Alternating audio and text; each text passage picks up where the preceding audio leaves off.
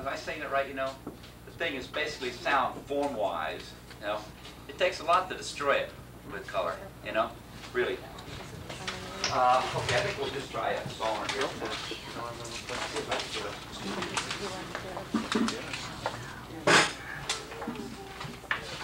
Hey, Russ, Russ.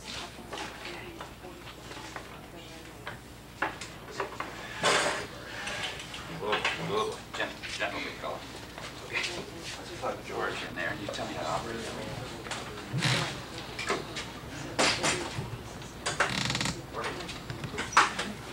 Our day things. Oh, there's one. Good. Okay, we'll put down the cookie here, and we'll attach it back to the cookie. Well, that's a learning experience too. This way I attach it back with the cookie. And uh, if I'm throwing, you know, sorry. Give me a second here. We'll just, a little sloppy. Here it comes. Here it comes. Here it comes. Come. Uh, I'm just getting off on this thing. Yeah. Gee, I'm just getting hot too. All right. Well, I'll throw a cookie too. Just. Well, I better throw it out. Uh, let's see. Okay. I don't want to let a lull happen here. Pardon? What temperature? I weigh, I saw that about, about nine. There's not much point for me going much beyond. That is, nine is down, ten is kind of like that. That, no, I start when nine is about like that. And it takes about two hours to salt. And then nine is down when I'm through salting. When I salt, I don't close the damper or anything. My damper hasn't changed in, uh, you know, years. I mean, if I get something going, I'll go with it, you know. As long as it works, I go with it, you know. And uh, that, what I'll do is, I, I'll wait till not, I fire it really clean, you know, first oxidation up to about cone, uh, oh, probably two, something like that, one, two. Some really, it's getting into the white, you know, areas. I don't use any cones. I use a cone. I just have one cone in there. I don't know if the biolog comes that way. Just little I used to use rings, but I don't use rings anymore because I know how much salt I'm going to put in. I mean, I know how much you want to in there. But sometimes you put rings in anyhow, see? Because what else you going to do with your salting? See, for instance, well, I guess I'll pull a ring. Oh, yeah, that's interesting. And, you know, it gives you something to do while you're salting, pulling rings down there, you know? But what I do is I'll, uh, I'll fire up, and then I'll let it go into a bit of a reduction. So I get just a bit of a green tongue coming out, you know? Light reduction, sort of greenish tongue coming out. And I'll take it up like that until nine is about like that. Then I'll start throwing salt into the firebox. My fireboxes come into the front. It's the easiest way to do it. Yeah, just comes into the front. And then I just, I'll throw a couple of handfuls in this one and a couple of handfuls in that one. And I watch, 'cause I have my fireboxes, which we'll talk about when we talk about the kiln. I'll tell you all about the kiln fire. I line the fireboxes, see, with a Mizzou castable, so that from the side view of the firebox, this is the, the target brick here, this is the burner here, you know, it comes like this, it kind of dish down and goes up, so that this stays a puddle of uh, melted salt, sodium. So when I throw a handful of salt in, it hits that and it takes it into solution right away, you know, and just sits there and keeps volatilizing. And so I have that my damper is, is in enough that I get, uh, you know, uh, uh, fumes coming out of the bricks at the front of the door towards the bottom, so it's pushing it to the front. You know. And I just keep watching it, you know, and, and uh, uh, I never kind of lose that puddle. I try to keep a little puddle in so that I just can keep throwing it in and zoop, zoop. And it takes about a couple hours. With, I, my kiln is about is six feet by six feet by five feet as it is inside. And so I use about 35 pounds, 40 pounds of salt. And I put it in, and I know what I'm going to use, so I don't really have to use the rings and everything, you know. Um, but like I say, sometimes you do just because you need you know. At first you do, you know, you use the rings because you pull the ring out to see where you're at, you know, and you always know that you have more salt on the rings than you have when the wear in the kiln. That is, you think there's more salt on because uh, the area you're looking at is smaller, and therefore the relationship of the orange field to that area looks a lot more than is. See? So you usually go more than you want on the rings. You know, that's just sort of, and because I do, see, another thing is because I do a lot of blushing, I'll just take it, well, I'm going to do some of uh, Russ's pots there, and, you know, I'll show you how we do it, just, you know, he's he can let's use some really nice of And I'll I just taking, uh, you know, and you your glaze table's all screwed up, you know. Just take your hand over you know, and just start rubbing the pots, you know, just sort of flushing them. Do some rutile, you know, some iron in there, you know, brushing it. Now I'll just take it, I'll just spray that, flush that a little bit with some oxide of water, you know. Then before I set it to kill, maybe I want a nice, like maybe I want a nice run right here. See, maybe want, you know, a nice run. That'll loosen that right up nice. So I'll take some frit and I'll just go like that, put that on there. Some feldspar there. Then I'll put it in the kiln. And where I put it in the kiln is really important, see? If I want a big blush, I'll put this right up against the wall in the back. And that'll be a big, nice burn spot there, see? If I want this heavier over here, I'll set this over the firebox. That'll give me more. This will be away. Even sometimes I'll lay a pot over the shard over top of it to keep salt away from areas, you know? We'll talk about all that stacking too, okay, oh this afternoon. I'll show you. And all those little things, you know, like you take a good a good uh, burn spot, you know, that's at five dollars, you know. Take a good drip, fifteen bucks for a good drip, you know. You sign it, it's another ten bucks. You add them all up, pretty soon you got a pot that you ought to be selling for a hundred bucks or something, you know. Just start adding them up that way if you can't force yourself to raise your prices any other way, you know.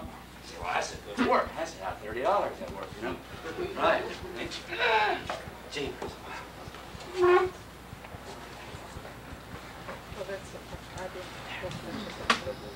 Now, whose wheel are I screwing up now?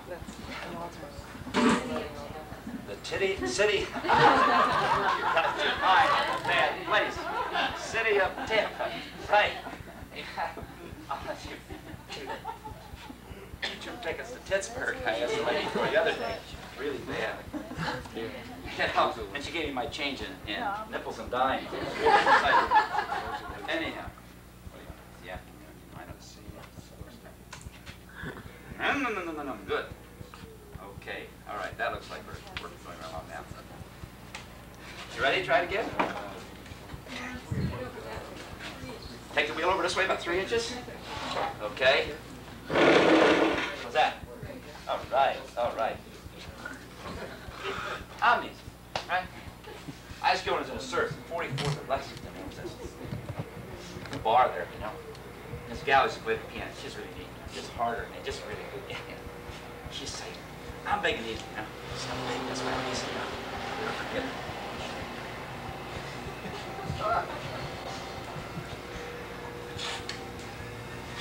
My first initiation into the brotherhood. The mob. Bad time.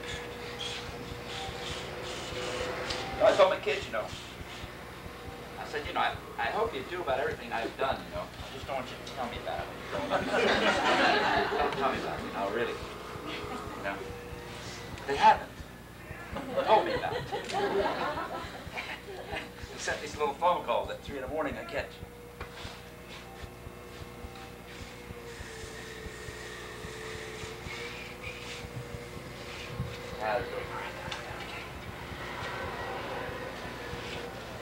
It's a hard thing, you know, raising kids, you know. The important things about it seemed to, to me, after a while, after I realized it was, do you love them enough to let them go, you know? That's the hard part. I mean, kind it's, it's not, it's, you know, it's hard sitting through measles and mumps and all this and colic and da-da-da-da-da, and through their first days at school and all that, da-da-da, you know. The real hard part is, you know, when they come out of high school, you really love them enough to let them go, you know? It's really hard, really hard.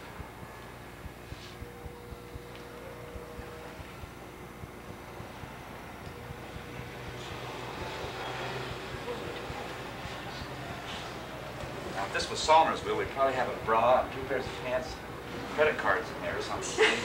right? Right? Uh, I don't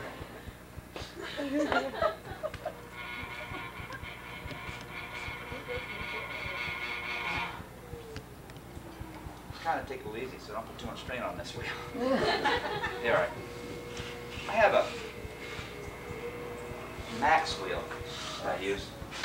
It's a good wheel, too. But I work with Brent wheels, too. They're all good wheels, you know. You just have to realize that some wheels will only do a certain amount of stuff.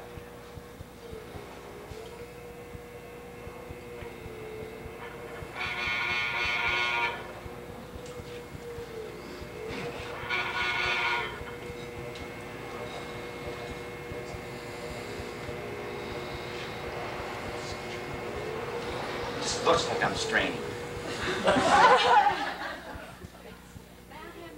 have to be strong to do no. Bullshit. You really have to be tough. No. no. yeah, have less less clay, I guess you don't see that. It really is, you know, the the constant pressure that you put on, that's really more important than being, you know, gargantuan, you know. Steady pressure and just letting those particles slide, see. That's what's important, not raising anything. Then when you get a hold of the clay, see, just be sure that you're moving it, you know. You're not just, see, I'm waiting now till I feel I'm getting it in the right, I start up slow, see, because I don't want to pull it off and I get it going in the right direction. I want it to go over there towards the center of me, like the other one so much, you know. So I just take my time, you know, I'm no big hurry, you know. Maybe that's what I've been doing wrong, right? I get aware of, you know, patience running a little thin. I get it going in this direction.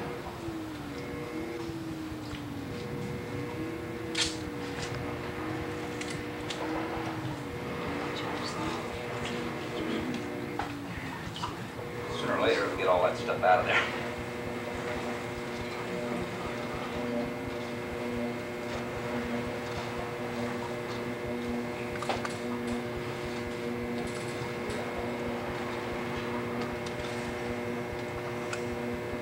See, we have a, one hard piece of clay in there, you notice?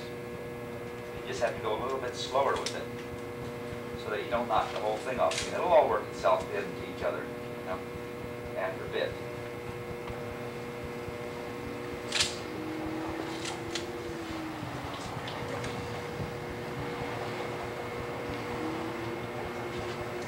Obviously, the, the wider your base, the more play you need, you know, because basically I used to work on a three-foot bat when I was doing the bigger pieces, you know, and uh, I'd have this 100 pound of clay there. See, by the time I got out of here, I had this little coil, you know, really discouraging.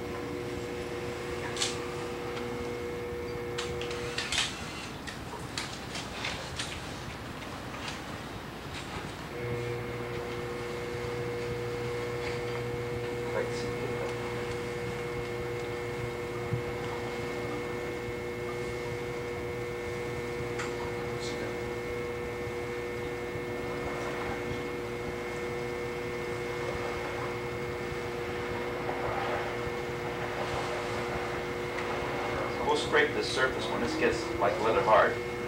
we're gonna scrape all the surface down, so it doesn't matter, like what the bumps are and so forth in there.